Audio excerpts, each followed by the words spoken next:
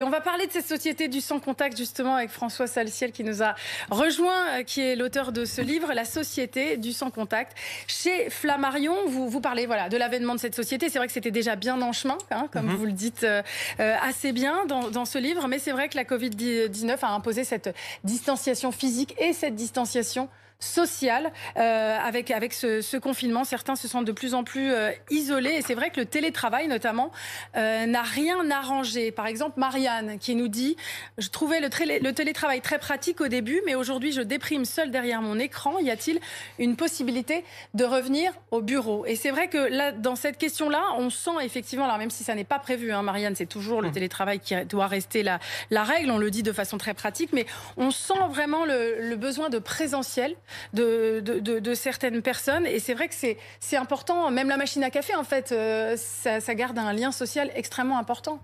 Oui, je crois que le télétravail, on a tous vécu euh, deux phases. La première, on s'est dit, chouette, je vais pouvoir euh, rester chez moi, même en pyjama, m'épargner des transports parfois complexes. Et puis, au bout d'un quelques temps, on a commencé à sentir le manque, le manque de sociabilité. On s'est retrouvé seul derrière son écran, sans échange régulier avec des collègues. Certains employés qui se sentent aussi surveillés par leurs employeurs quand ils n'ont pas forcément leur confiance. On voit qu'il y a beaucoup euh, de trackers, c'est-à-dire de logiciels espions pour nous surveiller. Et puis surtout, une certaine forme de, de solitude jusqu'à se demander mais qu'est-ce que je fais vraiment? Parce que finalement, je peux plus échanger. Mm. Et ce, que, ce, que, ce qui m'interroge, moi, dans cette société du sans-contact, c'est lorsqu'elle est comme ça de manière très conjoncturelle, c'est-à-dire qu'on fait face à une situation sanitaire qui est grave, mais lorsqu'elle s'inscrit dans une forme de norme, ça peut devenir complexe. Et on a vu beaucoup d'entreprises, notamment des entreprises de la tech comme Twitter, comme Facebook, qui tout de suite ont dit, eh bien, faisons du télétravail à vie. Euh, Twitter a proposé le télétravail à vie pour ses employés qui le désirent, idem chez Facebook. Et c'est là où je pense qu'il y a un danger, c'est quand ces entreprises eh bien, utilisent euh, cette situation sanitaire pour en faire une norme sociale. Et là,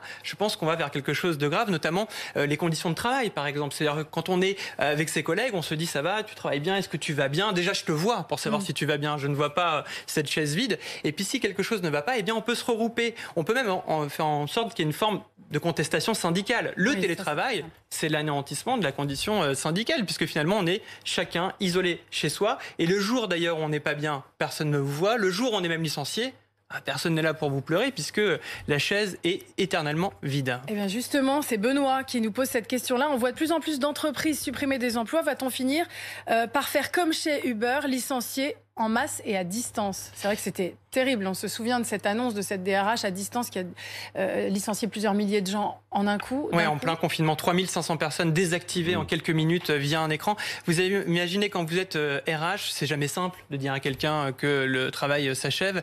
Et c'est forcément plus facile pour elle de le dire derrière un écran. Alors là, on est vraiment dans le comble de l'inhumanité. Hein. C'est-à-dire mmh. que 3000 personnes qui sont comme ça supprimées du jour au lendemain. Mais un petit peu à l'image finalement de du fonctionnement de notre société numérique. Hop, connexion, déconnexion et on a tendance à faire pareil justement euh, avec les employés. Et là, je pense que ça peut être une dérive de cette société du sans contact. Il ne faut pas que le télétravail devienne une norme. Il faut réfléchir par rapport à cette pratique. Euh, la question de votre téléspectatrice est assez euh, pertinente. Elle commence à souffrir de mm. cet isolement. Je pense que ce qui fait le plaisir aussi du travail, c'est qu'on puisse échanger les uns avec les autres. La machine à café, vous le disiez. Mm. Et la bonne idée, souvent, c'est aussi l'échange de deux services qui n'étaient pas habitués à se rencontrer et qui se rencontraient autour de cette machine à café. Mm. Donc gardons la poésie et la magie des échanges.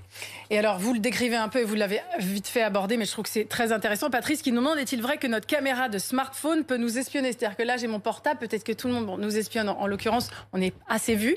Hmm. Euh, mais, mais c'est vrai que c'est fou. Euh, il y, a des, y a des euh, systèmes d'espionnage incroyables, c'est ce que vous décrivez. Oui, en fait, il faut jamais oublier que la société du sans contact, c'est la société derrière l'écran. Et lorsqu'on est derrière un écran, c'est une caisse enregistreuse. On le sait, chaque mouvement que vous faites sur Google, chaque temps de passer derrière une application est enregistré. Donc la société du sans contact, c'est aussi la société de la trace. Et on a vu beaucoup euh, d'applications, notamment sur les visioconférences euh, chez Zoom, une entreprise sino-américaine ou encore d'autres. Eh bien, on analyse vos mouvements, le temps d'attention que vous passez derrière un écran. Est-ce que vous tapez sur votre clavier? Est-ce que vous êtes devant? Est-ce que vous êtes à côté? Donc, évidemment qu'on se sent surveillé. Donc, ce télétravailleur, il est dans une forme de précarité psychologique, sans parler aussi de la difficulté qu'on a tous à devoir gérer les enfants d'un côté, le travail de mmh. l'autre, et d'être au beau milieu de sa cuisine ou de, de, sa chambre à coucher quand on a des petits espaces. Donc, le télétravail, je pense que c'est euh, c'est un peu l'entité de ce qu'on attend euh, du travail collectif. On travaille les uns avec les autres pour un objectif commun. Donc oui, on est surveillé, on peut se sentir surveillé et euh, rien ne vaut revenir sur un espace physique, j'espère, dès qu'on le pourra. Eh ben, écoutez, euh, on espère. Il y a plein de choses dans ce livre. On n'a pas pu là, on a parlé du travail, mais dans votre. C'est chez Flammarion, hein, chez Flammarion, la société du, du, du, sans, du, sans, contact. Pardon. Oui, il y a plusieurs chapitres, effectivement. Oui, même l'amour, euh, sans contact aujourd'hui. Enfin, il y a énormément de choses euh, qui, voilà, qui sont passionnantes.